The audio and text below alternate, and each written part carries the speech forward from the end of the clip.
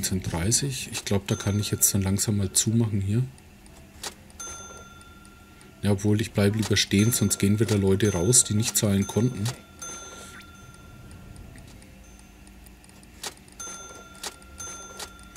Da machen wir eh für den, für den richtigen großen Umbau, da mache ich dann eh wieder zu. So, dann machen wir mal die zu. Die ist zu. Die da hinten ist dann wahrscheinlich offen geblieben, ne? Ne, ist auch zu. Okay. Jetzt kann ich wieder nichts machen, ne? Und? Oh, alle verkauft. Pittichens Shirts gehen wirklich gut, hä? Halt, Bestellung. Hilfe. Mindestlager. Hinzufügen. Bestellen. 8300. Nicht schlecht, in der letzten Sekunde noch bestellt. Äh, irgendwie komme ich immer an die Lampen nicht mehr dran, wenn ich die verschieben will. Ist aber normalerweise kein, keine große Sache. Kann ich ja dann mal machen. Sind schon wieder zwei Leute krank. Ja, Sabralot. Einräumer und Kasse. Okay, und wir haben welche, die wir auf Schulung schicken können. Ich würde sagen, wir machen den. Warte mal, wir haben jetzt ja dann Montag, ne? Ich würde sagen, wir machen zu den Laden. Wir haben äh, knappe 8000. Da können wir uns um den Aufbau kümmern von dem, äh, von dem Handy-Shop. Und wir können dann die hier auf Schulung schicken. Das könnten wir machen. So, Carla Seger, 21. Januar krank. So, 21. Januar. Einmal kopieren bitte. Und der Colin. Ach so, du warst auch schon krank. Mal. Na dann, machen wir es so. 19. Januar, 21. Januar. Was ist denn mit euch los? Hä? Äh, staune, dass du deine Pullis noch nicht drin hast. Ja, das, die kommen irgendwann mal. ähm, da habe ich auch was gelesen. Anscheinend ist geplant, dass Leute, die King of Retail 2 irgendwie supporten, dass denen ihr Charakter im Grunde auch im Spiel dann rumläuft. Wie sie das machen, keine Ahnung. so, gut, dann machen wir das so. Wir machen den nächsten Tag dicht. So, zack. Dann sind die zwei schon mal gearscht, die krank sind. So, dann wirst du auf Schulung geschickt. Hallo? Achso, da. Äh, Schulung anschauen. Wir können die ausbauen. Das passt sogar ganz gut, oder? Mit Computer. Segmenttraining, wir gehen da auf Promi, Artikeltraining gehe ich jetzt auf Handys, Vorteile, jetzt habe ich nicht geguckt, was war die? Was warst du? Stella? Achso, die ist an der Kasse, okay. Stella ist an der Kasse. Stella ist an der Kasse. Dann machen wir hier Vorteile Ähm, Aufruf zum Handeln. Social Media, Massenauspacker, individuell Tester, ne? Glaube ich. Wartezeit kann zurückgesetzt werden. Tester machen wir. Und bringt einen neuen Kunden hervor. Das machen wir. 975, dann kommst du jetzt halt auf die Schulung. Und wir haben die Ronja als Verkäuferin Käuferin. Die kann nix. Ähm, dann machen wir bei ihr auch Promis. Artikeltraining. Wir machen da auch Handys, weil die wird ja dann in dem Handy-Store wahrscheinlich arbeiten. Vorteile. Vorteile. Zum einen der sechste Sinn. Oder das da. Wir machen das als Vorteil und hm, genau die Laune der Mitarbeiter machen wir so fertig. Passt. Äh, die haben doch das Schiff viel Geschwindigkeit ins Spiel gebracht. Ist besser als Siedler, weil man von Anfang an viel Tempo hat. Schwere Karten können bis 16 Stunden dauern. Die ersten beiden. Dann kommt Bobers bei mir einkaufen. nee, ich glaub's nicht, weil ich, ich supporte da nicht. Das ist ja über, über Patreon oder sowas. Da kannst du dann Geld oder sowas spenden. Und das werde ich nicht machen. Äh, Tutorials sind ohne Feind und sicher genug im Netz. Die Karten sind heftig schwer. Ich werde mir das mal anschauen. Pioneers of Pagonia. Dann gucke ich doch da jetzt halt einfach mal, bevor ich es dann doch wieder vergesse. Äh, Pioneers of Pagonia. Ach so, das habe ich auf der Wunschliste, ja. Für 30 Euro ist es mir ehrlich gesagt zu viel. Werde ich mir auf keinen Fall holen für das Geld. Ganz egal, ob es gut ist oder nicht. Ach so, das ist so ein, ja, Siedleraufbau, stimmt. Bei, bei so Siedlerspielen ist es eh immer die, die Frage, ähm, ob ich die wirklich als Let's Play mache. Aber ich habe es auf der Wunschliste tatsächlich schon stehen. Also von daher, von daher ist es doch ganz okay. So. Mal mich wieder einblenden. Mal einen Schluck Kaffee. Cheers.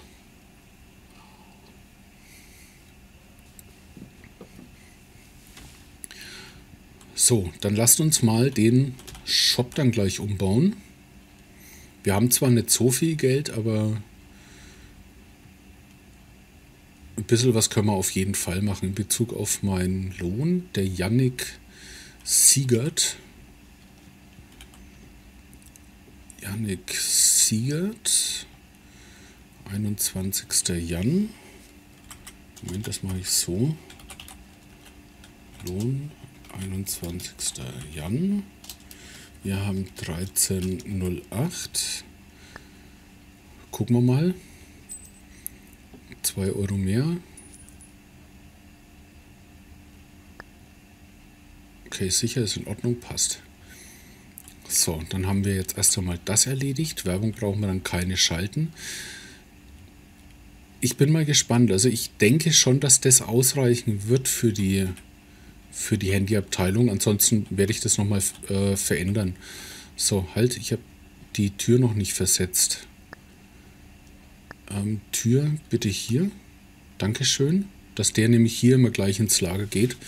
Ich denke auch wirklich nicht, dass das sehr viel größer wird mit, der, mit dem Lieferabteil. Naja, wohl, ich habe ja nur die kleinen Container. Es könnte schon durchaus sein, dass da nochmal vier Teile dazukommen, ne?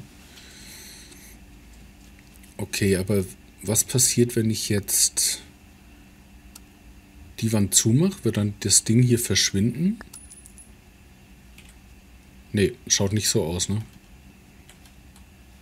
Okay, gehen wir mal raus.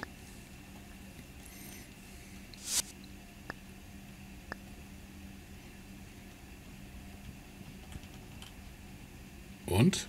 Jawohl, Lieferung kommt. Dann lasst uns mal gucken. Die Mitarbeiter sollen auf jeden Fall hier weiterhin reingehen. Die Frage ist nur, Kasse an der Stelle lassen? Ich würde sagen ja. Ähm, wir packen mal aus.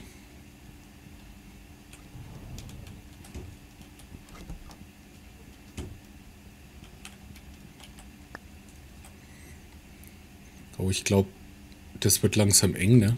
Mit den Artikeln dann. Ähm, Servus Labrina, äh, der mit Bart ist dann Bobers bei King of Retail 2. Äh, 22 Euro bei Writing Bull, aber den Typen kann man sich eher gönnen nach dem wievielten Geburtstag? da ist jetzt wieder dieses Herz im, im Weg. Ich sehe das leider nicht. 344. 44. Oh, das, ich möchte das ausblenden auf jeden Fall.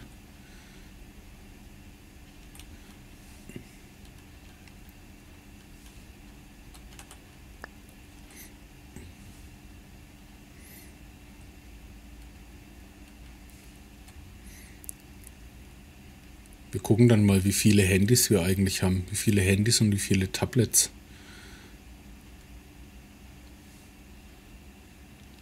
Ach stimmt, ich habe ja meinen Namen geändert. Ähm, kein Sie hier. ja, servus.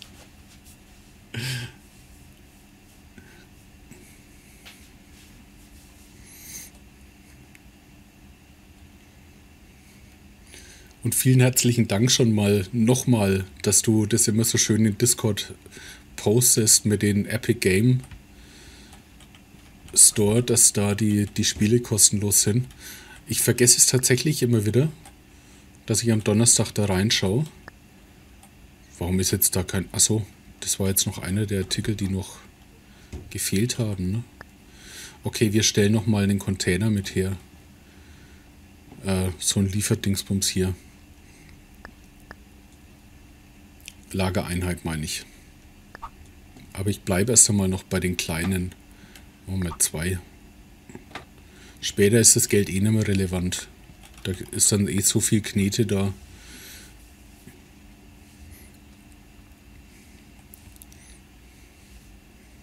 Dreihundertvierundvierzigsten Geburtstag.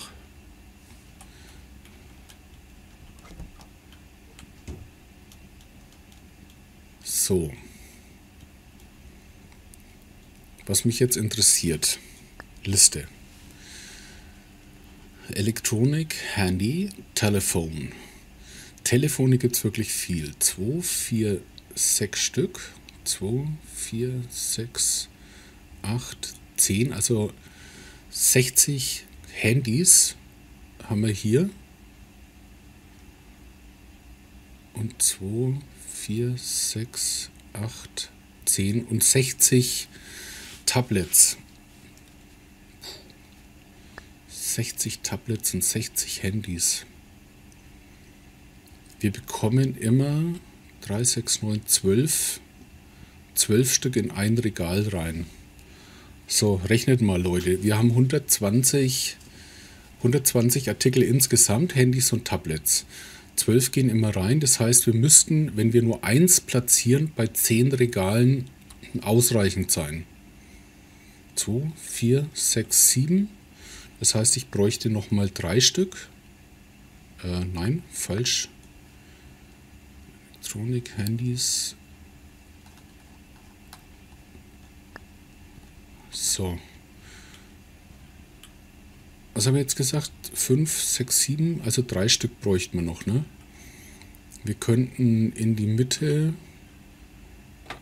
von dem Shop zwei so hinstellen vielleicht.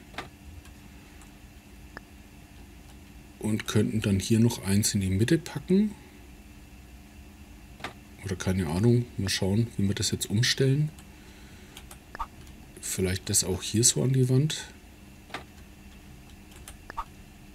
Bisschen weg noch, dass wir hier vielleicht noch ein Bild dazwischen bekommen.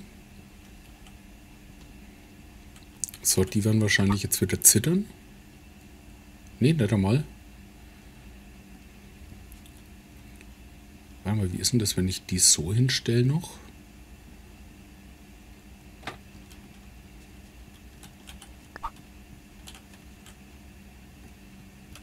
Äh, steht das jetzt drüber? So. Könnte man machen, ne? So als großen Block.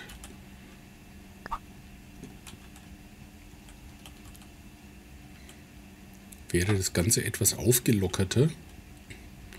Dann nehmen wir hier nur eins noch, hier mit rüber an die Wand. Und dann kann man dazwischen immer mit Deko arbeiten oder so.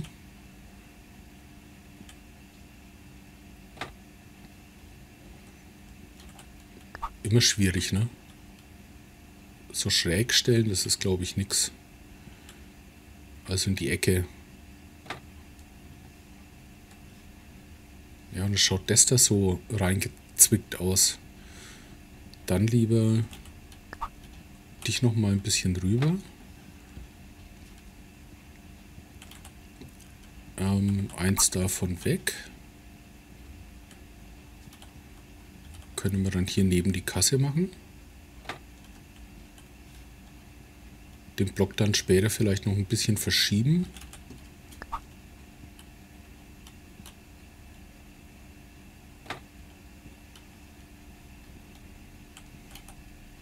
Das geht.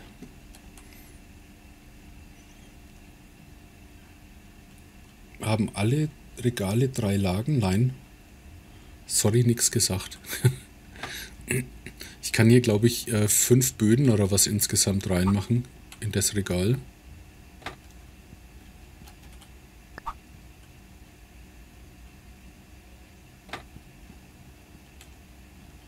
Ist, glaube ich, etwas, etwas luftiger dadurch, oder? So, was machen wir denn bei Tablets und Handys für Farben?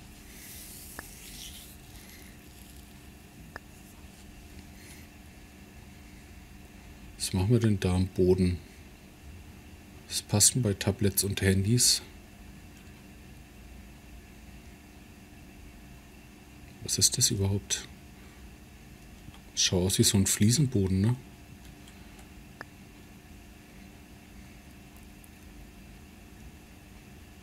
Farbe eher in Richtung Weiß. Schaut eher silbern aus, ne? was kostet das? Sechs Münzen. Na naja, gut, dann kann man das ja mal ausprobieren. Einfach mal hier reinmachen. Ich, ich mache mal hier rein. Den Boden. schaut clean aus, oder? Ja, die haben doch irgendwas geändert. Bei diesen Regalen konnte ich früher fünf Böden füllen mit Handys. Heute heißt es, das passt nicht mehr.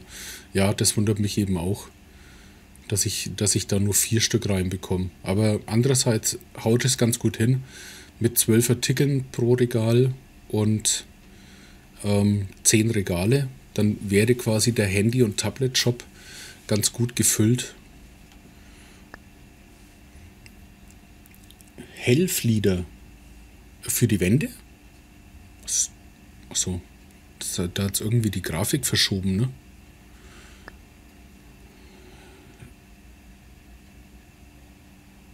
Hellflieder.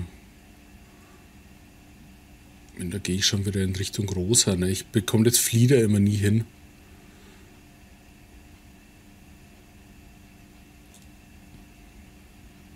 Das ist eher lila, ne? Ich weiß es nicht. Ich, schauen wir mal. Nee. Nee. Das ist nichts. Das ist aber eher rosa, was ich jetzt da habe. Eher hier in die Richtung, oder?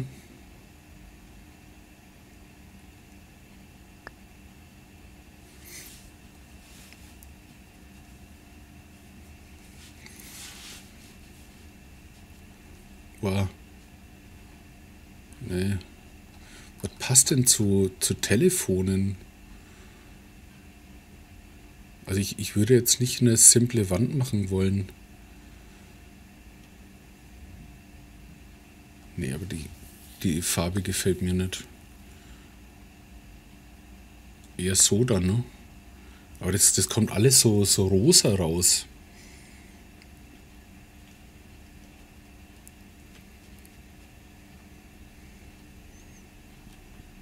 Erst einmal eine, eine Struktur, eine Wand hat, dass wir dann die Farbe dran anpassen.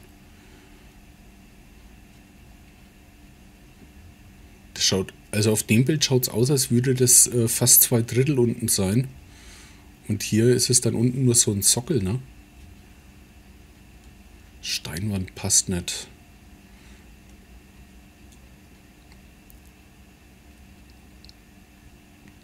Das schon eher, aber dann nicht in der Farbe.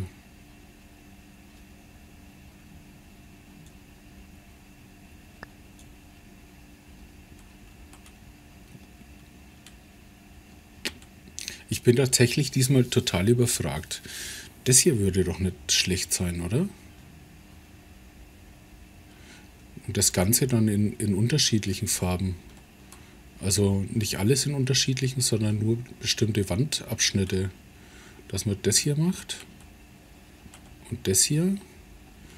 Und hinten dran die Farbe. Moment, ich speichere die mal. dann in so einem hellen Ton. Aber das schaut dann auch nicht. Das schaut aus wie eine, wie eine Metallkiste, oder?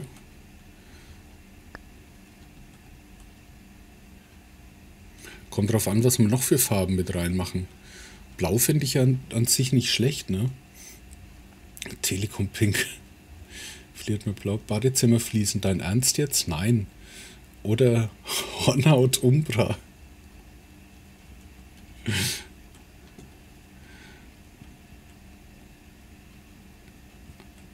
So, ich meine, das ist ja hier alles Elektronik. Das kann doch durchaus so ein bisschen eher in dieses Silberne gehen, oder? Weil man das da, du meinst jetzt nicht, dass das da die Badezimmerfliesen sind, ne? Da war wahrscheinlich das vorher das Ding. Aber das hat doch irgendwas von Connecting Silber für Platinen, keine Ahnung. Und die Regale selber können wir ja dann in einer anderen Farbe noch machen.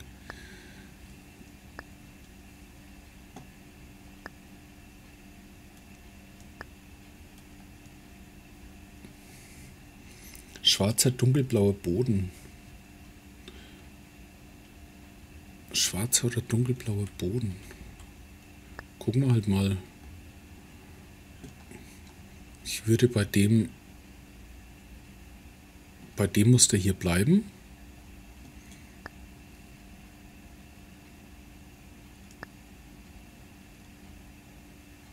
Ah, das ist nicht schlecht, ja. Das sind jetzt bloß ein paar Münzen, wie gesagt.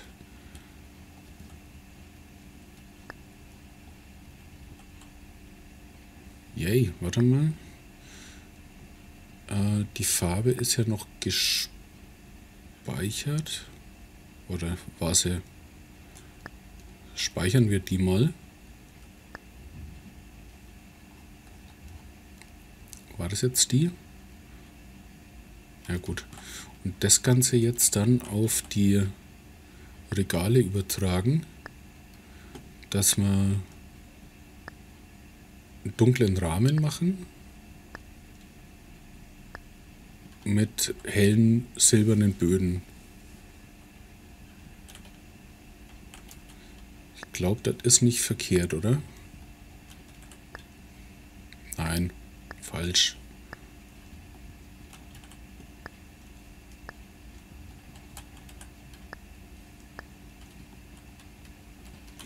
Und dann natürlich noch die Beleuchtung, das ist ganz klar, die kommt auch noch. Zauen wir da mal schnell Böden rein. In der Hoffnung, dass ich die dann auch auf die richtige Höhe bekomme. Das ist auch etwas, was ich mir wünsche, dass man die Regale wirklich komplett so kopieren kann, wie sie da sind. Dass ich nicht jedes Regal dann immer einzeln einrichten muss. Ne, das passt noch nicht. Das habe ich noch zu, zu hoch, ne? Der untere Boden, der muss auch noch eins runter.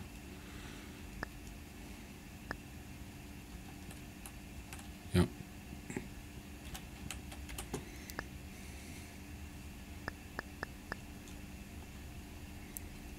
Sieht es so schlecht auch.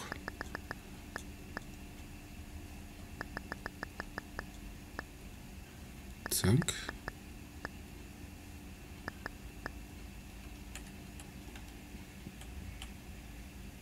Das ist nicht schlecht.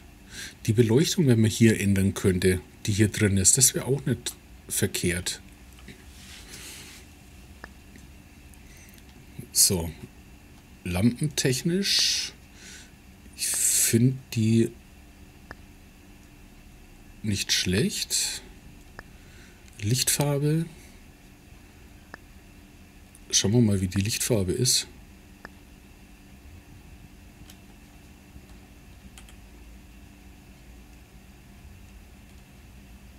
Das macht zu viel Schatten, oder? Wenn ich das jetzt genau das so... Eine dahin.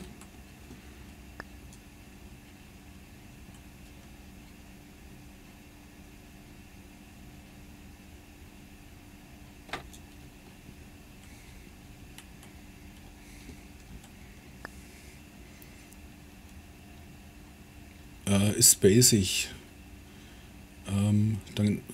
Grün wie Platinen ist spacig, Regale in einem schönen Minzton, mehr passiert haben.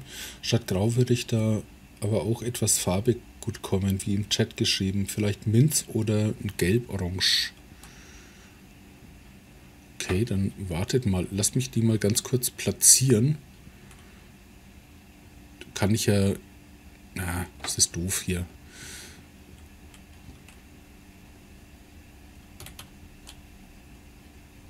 Ich bitte bearbeiten. Danke. So. Lichtfarbe. Lichtintensität. Ich kann ja die auch noch heller, dunkler machen.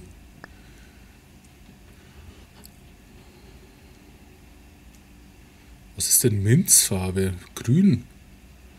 Dass wir mehr in das, in das Grüne reingehen.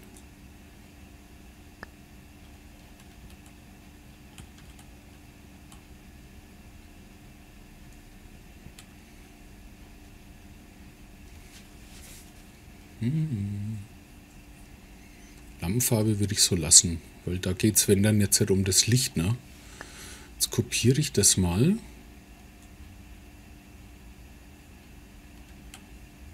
Hallo? Die hier? Muss ich da jetzt nochmal rausgehen? Bearbeiten? Da, jetzt. Nein? Die hier kopieren.